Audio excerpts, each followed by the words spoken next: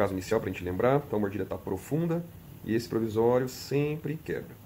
Então como ela está profunda, por quê? Porque perdeu dimensão. Pode abrir um pouquinho. Então pode ver que é todos desgastados, perdeu dimensão dos pré-molares, perdeu aqui, perdeu aqui, perdeu um molar aqui esses tempos. Então nós vamos restabelecer essa dimensão no arco inferior, deixando espaço nesses dentes, porque não pode ter esse toque tão forte, porque senão fica desgastando esses dentes, porque são cerâmicas já feitas há algum tempo atrás. São coroas. Então, uma mordida profunda, abre um pouquinho. E aí nós fizemos stop, esse stop aqui com aquele riazinho aí, forma de pasta.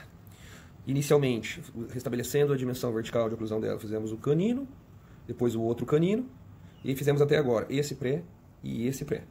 Tá? Então vamos esperar